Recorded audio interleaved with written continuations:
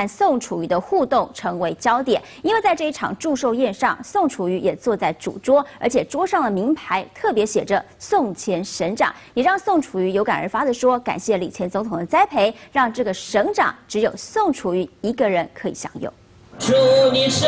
日！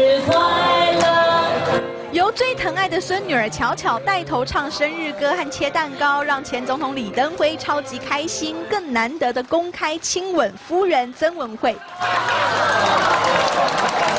最短一口，多谢你，我爱你。告白让曾文慧羞答答，寿宴气氛融洽，一直到宋楚瑜上台祝寿时，上面写的是宋前省长楚瑜，我要谢谢李总统，因为您的栽培，让这个省长只有宋楚瑜一个人可以享有。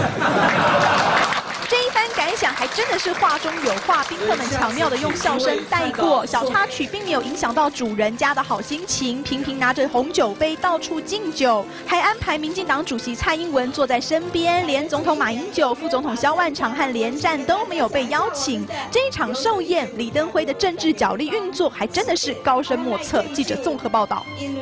今年。